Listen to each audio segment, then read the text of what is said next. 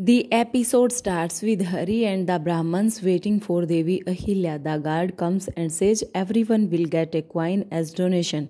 Hari says I will go and come. The Brahmins ask Acharya if they will get just one coin.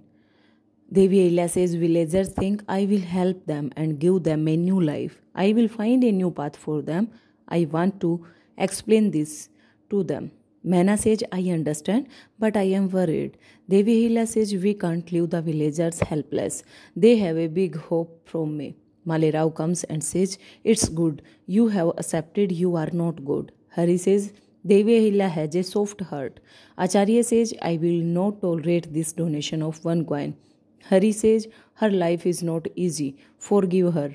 Malerao argues with Devi Ahilya. Devi Ahilya gets angry.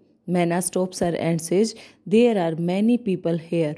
Acharya talks to the Brahmins. He says, We will talk to Devi Ahilya. Malerao says, I had come to inform you that Gotma Rani Sahib is fine now. Don't tell anything that stresses her. Gangoba asks Hari, Why are you breaking their unity? You are lying to him. Hari says, Nothing will happen to me. I met Acharya as a servant. He doesn't know my name, but everyone knows about the coin's donation.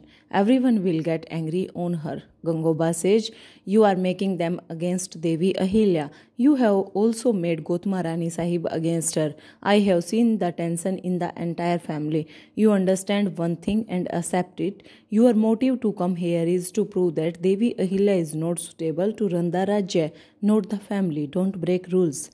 Malhar Sarkar feeds the food to Gotmarani Sahib. She cries. He consoles her.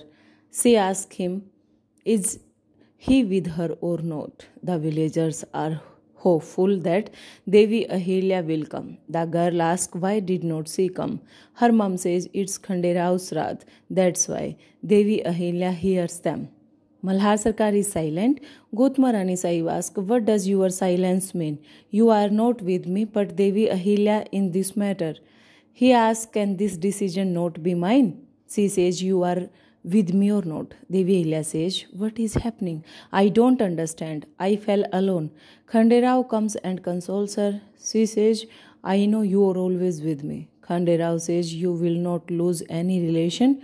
You are making new relations every day. He smiles.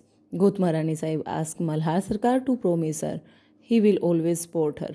Malhar Sarkar says, I promise you, I will never leave the sport and do the thing that has your happiness and consent. Will you have food now? She nods and eats the food.